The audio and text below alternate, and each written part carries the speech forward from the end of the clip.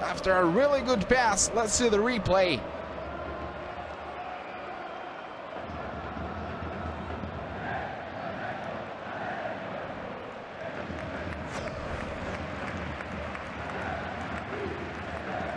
Sergi Enrich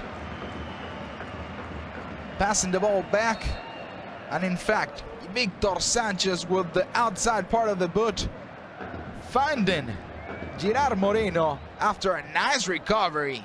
So nice pass to Moreno which made a nice move